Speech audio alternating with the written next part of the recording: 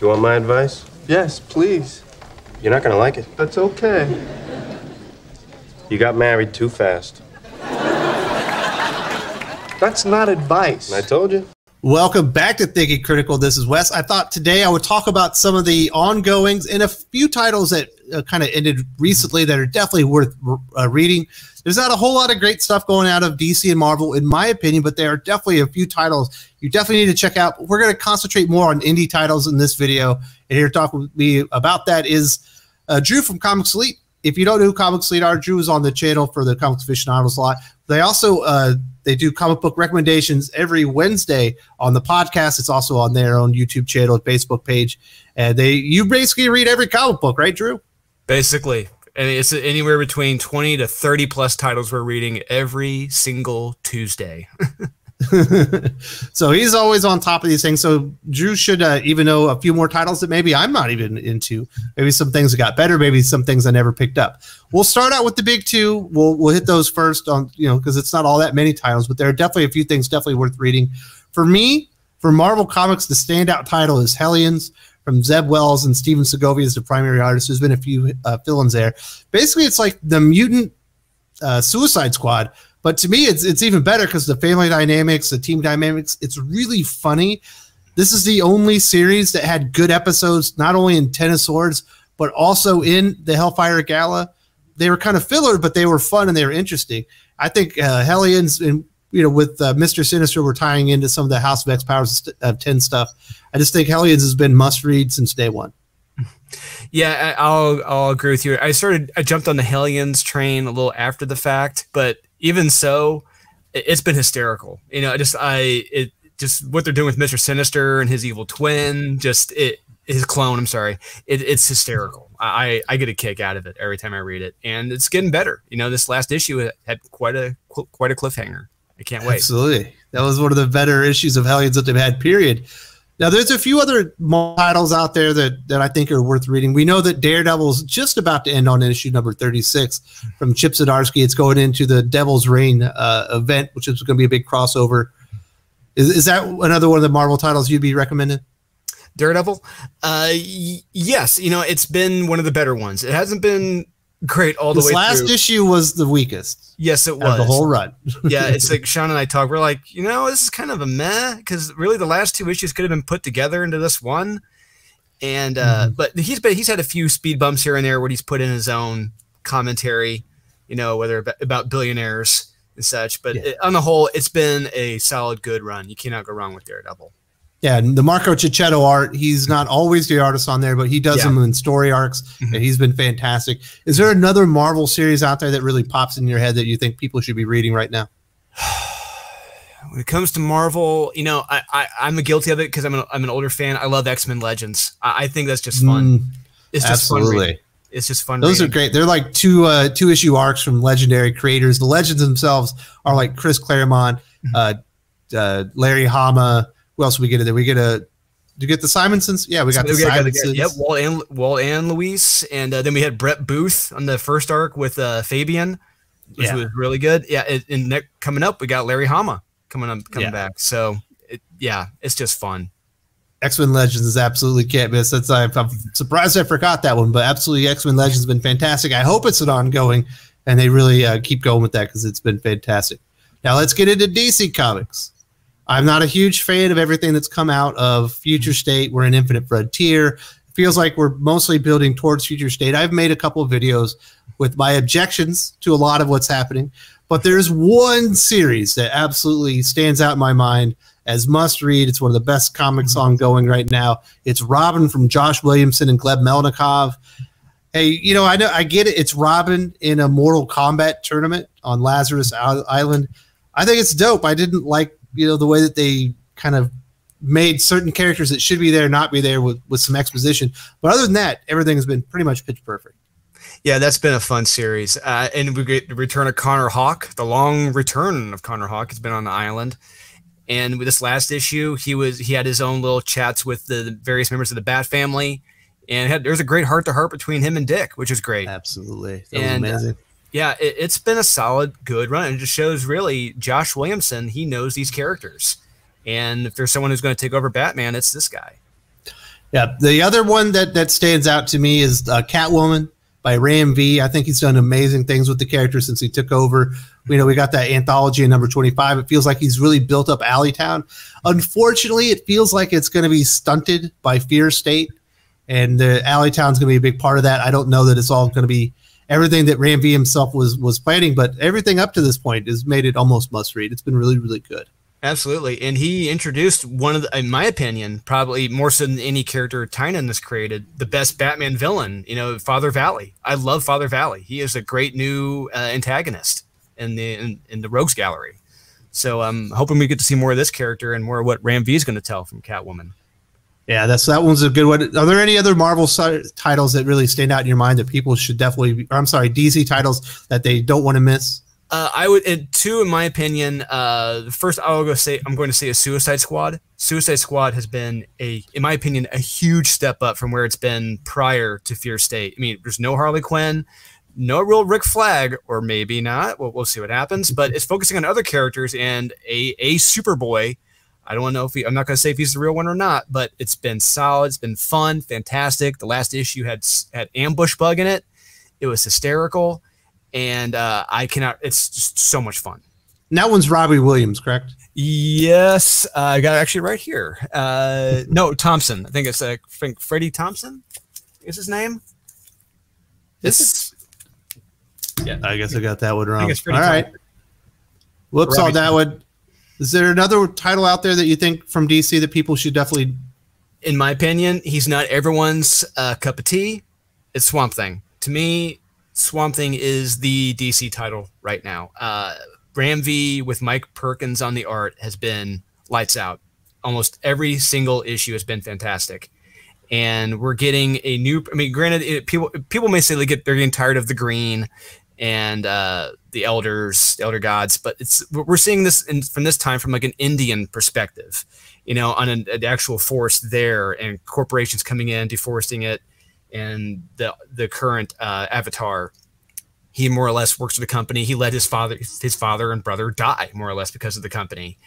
And uh, it's a new twist new spin on things and it's been fantastic. I enjoy it i really like the future state two-parter that they did i thought that was almost like perfect it felt like it was of like all like almost alan moore level quality swamp thing is one of my favorite character dc i thought they went a little too slow in the introduction of Levi as the new Swamp Thing, you almost didn't even get to meet the actual the man behind the the avatar until like yeah. issue 5 mm-hmm. I wish yeah, they would have sped it up just a little bit. Exactly, and you know what? One thing I've got to give Ram V credit for, he did a great job with the handing over of the mantle from Alec Holland to Levi, which was great. Which is usually bungled more or less, but he did a great job with that.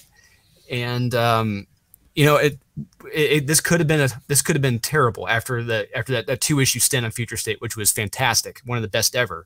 But he's been so incredibly consistently great about with it. I just can't give enough praise. Absolutely. So there's four DC titles that you should check out that are ongoing. Now let's get to the indie scene. Ooh, shockingly, man, this is the Wild West. This is the Wild West when we get to the indie. I scene. think Valiant is like at an all-time low, probably worse than their acclaim days. It is so bad right now. But there's one title that absolutely stands out. I'm normally a pretty vocal uh, detractor of Cullen I, Bunn. I, I think I know like what it is. I know what it uh, is. He's kind of a, a boring superhero writer, but his work on Shadow Man, which is like a horror themed superhero character, mm-hmm. Has been fantastic. And it's it's written like a real comic book, Drew. Yes, it Each is. issue, you have a villain, but you have these overarching subplots that are running through it to a bigger villain at the end. At each issue, you know, it's it's him and uh, I can't remember the name of the, the one guy, but they're going through and they're battling all these characters. It's like, wow, this feels like a real comic book that's meant to be read issue by issue each and every single month. The art by Jon Davis-Hunt, I think, has been uh, more than serviceable. It's it's really good, and uh, I just love the series. I'm shocked. Yeah, likewise. You know, I agree too, and uh, I because I've I've known about Valiant for longest time. I knew about Shadow Man, but I never got into Shadow Man because I really couldn't understand it. I'm like, so who is this guy exactly? Where are his powers? But Cullen Bunn lays it out for you in almost every single issue. What he does, his powers, and who he interacts with, what he's trying, who he's trying to defeat. It's like, okay, I get it now. I understand who Shadow Man is. And like you said, the, the art in this, in my opinion, is fantastic. It is a true horror superhero comic in the vein of like Swamp Thing. It is fantastic. Yeah, definitely recommend Shadow Man. Mm-hmm. Is there anything else from Valiant that you personally would recommend? Nope, not a single one. Shadow Man So is bad. the only one I can uh, confidently recommend. Yeah. Yeah, I can't stomach anything else they're doing. Like, oh, don't even get me started on X-O Manowar. Oh, yeah. It's not not pretty. Not pretty. Yeah. So we'll go over to IDW now. Uh, this is another title. Hmm. The delays on TMNT: The Last Ronin are very frustrating. It makes uh, Doomsday Clock out? look like it came out on time. Yeah. you know, it, it's it's shocking. But TMNT: The Last Ronin is absolutely fantastic. When you actually get an, ep- an issue, it's more than worth the money. It feels like you know it was worth your wait. Unfortunately, I wish they were coming out quicker. Obviously, this is Kevin Eastman, mostly written by Tom Waltz, who's been his writing partner for the most part at IDW. We got the Escorza brothers on art primarily. Eastman is, himself is actually contributing a few pages here and there while they're telling some backstory within Team TMNT: The Last Ronin. But this is one of those titles that's absolutely lived up to the billing. I just wish it came out on time, but is when you get an ep- issue, is it's like almost perfect every single time. Yeah, it almost almost is perfect. You know, I, I in my opinion, the last issue was a little bit of a step down. It was it wasn't bad. It felt like kind of paced at this point. I'm like, okay, I'm finally feeling the pacing a little bit. But um, issues one and two were fantastic, perfect. And like you said, the like the delays on this, it is no joke. It, it, it's like, guys, you have to get this out on time. You know, I, I mean, Well, there's three different sets of artists working on the mm-hmm. book. I know it's it's extra pages, but you would think mm-hmm. with the, the amount of artists they would have they have on the book, they would be able to maintain it. Exactly. You would think, especially with a title, you know, as with with and not just that, but like after the sales were so high for issue one, you would think there would be a focus on, okay, you know, we're gonna make this our focus. We need to get this out on time and keep the quality up on this. We're not going to keep delaying this several more months. By the time the next issue comes out, people are going to forget it was still coming out. I guarantee it. Yeah, it's crazy. It's almost like um, almost feels like maybe IDW's financial woes have contributed to this. Like they maybe they can't afford the paper or something to, for the full printing. Maybe you know this. You want to talk about a self-inflicted gunshot wound several times. This is it right here. Yeah, unfortunately, but when you get an episode or an issue, it's absolutely fantastic. Is there anything else from IDW that you think people should be eyeing up or, or reading right now? Absolutely. Uh, the one series uh, I will highly recommend is uh, Transformers King Grimlock by Steve Orlando. Uh, it's been two issues so far, but it is arguably the best illustrated Transformers comic and the most well written Transformers comic in years. It is fantastic. Uh, I stayed you- away from that one because Orlando's name was on it. And he's one. He's written some of the worst comics I've ever read in my life. Uh, you know, just the, this the that one he did for uh, I think it was Image, the one the Heroes in not Heroes in Crisis, whatever the Commanders and Cri- yeah there you Crisis go. Commander, something like yeah, that. Yeah, it was not the best stuff he's ever written ever. And uh, but when you read this King Grimlock, it's like this is Steve Orlando. Holy crap, this is amazing. right. I'm Yeah, going to it- put it on my list. Yep. Good, good on you. And uh, because I mean, I? I convinced my brother Kyle to pick it up. He's not a big fan of Transformers and everything, but he saw King Grimlock ripping people to shreds. It's like, yes, this is what I want. Absolutely. There's another title uh, that, that you should definitely check out the Canto series. They're on the third trade of that one, Canto 3 Lionhearted. Uh, the art by Drew Zucker is absolutely fantastic. David Booher is uh, kind of a rising star in the comic world. And that's definitely another one that's more of a like a fantasy inspired comic book. Really enjoyed that one. Now let's get over to the to the big publisher in the indie world, Image. The one that I would recommend right now, and I did I wasn't on fully on board, board for the first three issues, maybe but I think it was issue number four that it finally I finally got it, and they've really started opening up this Geiger world with Geoff Johns and Gary Frank under the Mad Ghost uh, imprint. We know that they've got a, a couple more titles coming out, an 80 page giant that's coming out to introduce a bunch of characters. I, I didn't know what was going on, but now that I found out that this is going to be like a fully, you know, realized like comic universe, and we're getting you know some some changes in history and everything, and then the the motivation behind the main character Geiger himself, this like nuclear powered superhero, where he thought he was protecting his family, he realized maybe that's not exactly the case. Uh, has been really well realized. The relationship he has with the two kids, uh, So I kept reading because I, I love Geoff Johns, I love Gary Frank, and they absolutely paid it off. In in my uh, my patience and my my loyalty to them was rewarded with a very very good opening story arc. Yeah, to me, it, like I agree with what you said. To me, it wasn't the best start when it kicked off. Like I know Sean and a few others, they they loved it from get go, but me, I'm reading. I'm like, this is good. It's not Geoff Johns' best. It's good, but I mean, it it did get better. It really did get better, and um, got more colorful, in my opinion. And I can't wait for the this next uh, the next arc. You know, it should be fun. Yeah, absolutely. Is there anything else in Image that you think people should be reading right now? Absolutely. Uh, two I will recommend. One just finished up. We're gonna, they're going to be doing a series of one shots. Is uh, Stray Dogs, but uh, mm, yes, yes. Uh, Tony Fleecs and Trish Forstner. It, it, in my opinion, the sleeper hit from Image Comics. Uh, they that was amazing. Not, it finished up a few months ago, I think. Yes, it did, and they're still they're still printing off new covers, um, horror movie homage covers for it, and uh, it truly is the hit of the, I in my opinion, the indie hit of the year just I don't think anyone saw this coming at no. all. Image didn't see it coming. It's crazy. You wouldn't think Silence of the Lambs meets Lady and the Tramp would be a thing. Yeah, you it, turned, it was so good. Yeah, it, it was. And uh, Trish's artwork is fantastic in it. And there, I'm a dog guy, and Sean's a dog guy. And there are certain moments in this, like in certain issues, like issues three and four, it's like it's gonna pull at your heartstrings when you read this. And yeah, woof, the Dalmatian. yeah, oh, yeah, yeah. It's crazy. The problem is if you have this book, don't put it in, in within reach of your children. They're going to think no. it's a kids comic because the art is absolutely made to look like that to kind of sucker you in. And yes. when you figure out, what, it's like jarring once you figure out what the book's about. I agree, and you know it's very much drawn in that. Um, oh my god, I forgot his name. Uh, Don Bluth animation style. And fun fact: Trish learned under Don Bluth, which is interesting. So um, when the movie does come out, Paramount Animation Studios does have the rights to the film.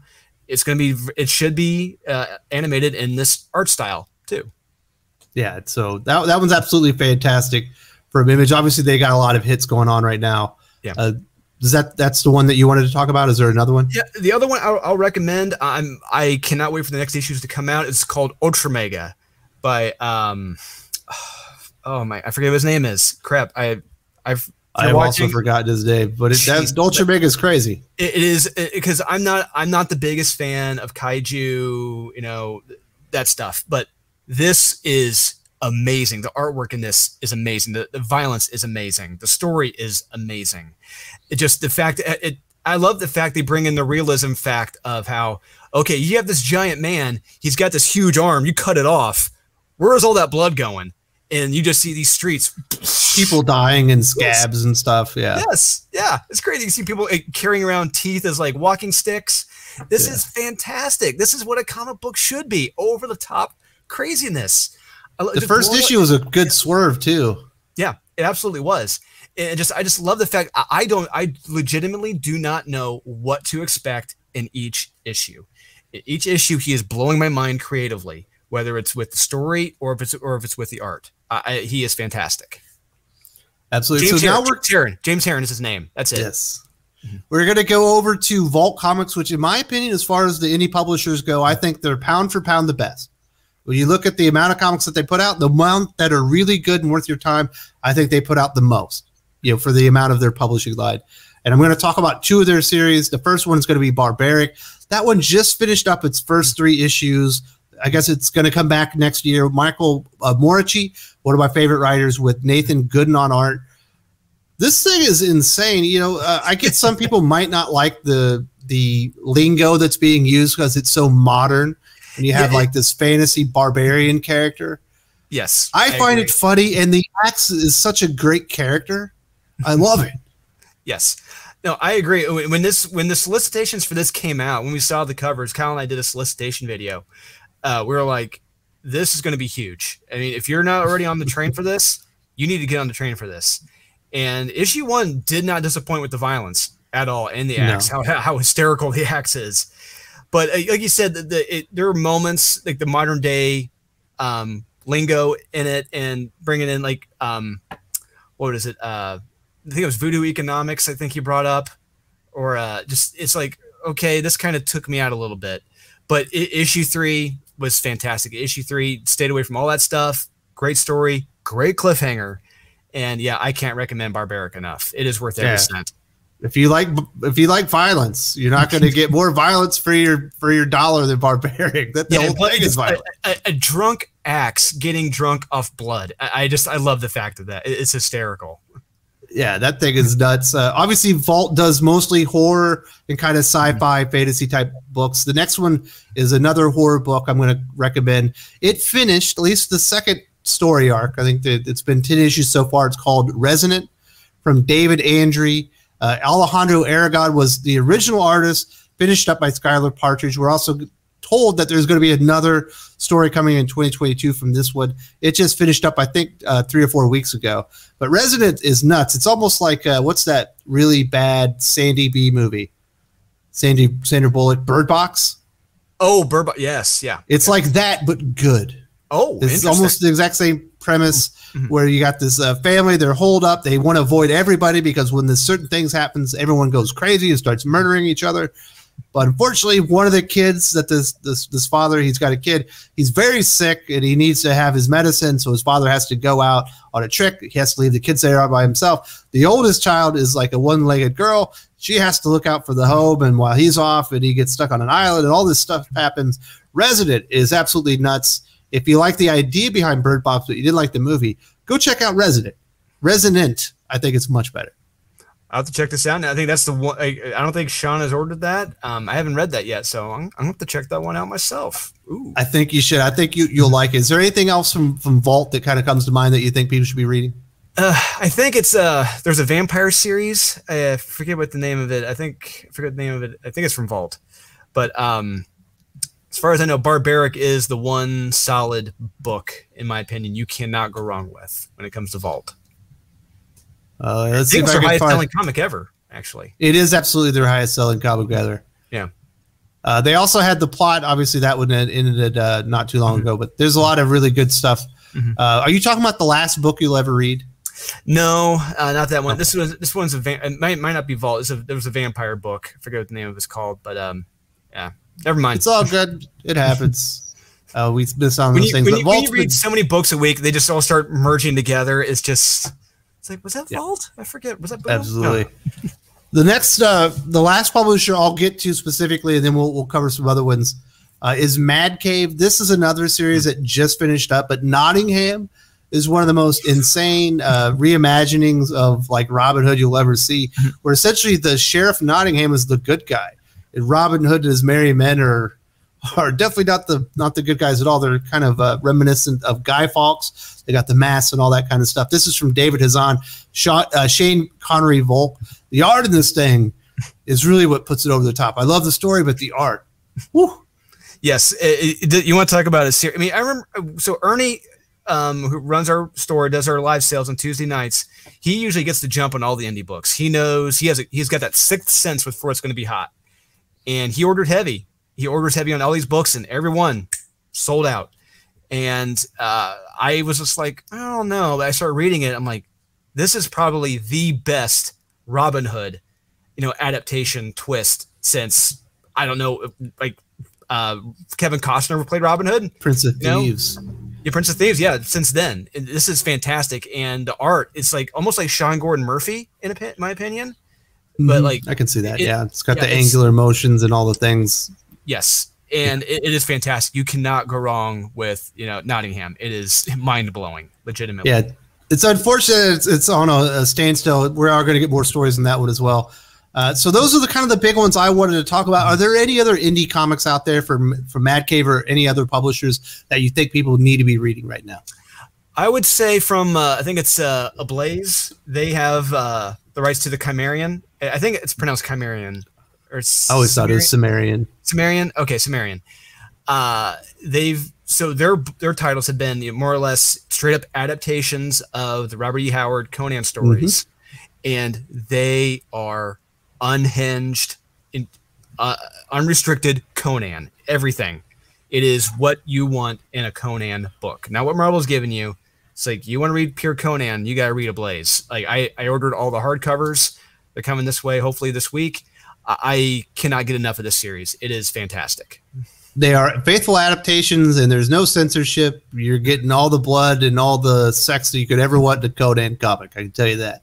Yes, cannot go wrong with that. Is there anything else that, that people should be keeping their eye out on? Uh, you know, just uh, thinking, just going going through my re- memory rolodex right now of everything out right now. Uh, that's that's the one. Those are the ones right now, in my opinion. I think you really got to keep an eye out for. I'm sure when we're done here, I'll start thinking of more. It's like, oh, I should have said that. I should have said that. Should have said that. But for right now, those are the ones that really come to mind. So if you're looking for some of the the nuggets, the gold nuggets in the abyss of some kind of crappy comics coming out, there are a lot of really good things. I think we've probably given you upwards of 10 to 15 comics worth checking out. Uh, go read them up.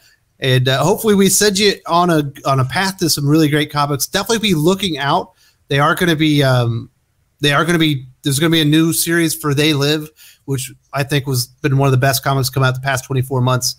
Uh, that was on the free comic book day, so there's going to be more We Live as well. Didn't cover that one because it finished you know so much earlier in the year, but uh, definitely come back for more. And maybe we'll do this quarterly, Drew. We'll talk about the comics people should be reading every two or three months. I dig it. I like that. You know, because yeah, we're reading stuff uh, every every week, and it's great to have an outlet to be able to talk to other people about this stuff who's reading who's who are reading them too. Yeah. All right, thanks a lot, Drew. Also, where people are interested in Comics Elite, you can go to their website. They do online auctions. They do a lot of uh, you know specific store variant covers that are that are really dope. What else have you guys got coming up? So we're going to be going to conventions. We're going to the next two coming up. We're going to be going to Dallas Fan Expo here next week, and then we're going to be going to New York Comic Con uh, next month. Now, what makes these shows cool for us is that typically at a convention, if you haven't been to been to them, creators will typically take the night off. They're going to go home, relax, get drunk, whatever. But for us, that's when round two starts. You know, we go back to our Airbnbs, we get everything we got signed, collected. You know, all the exclusives. We set up for a live sale that night.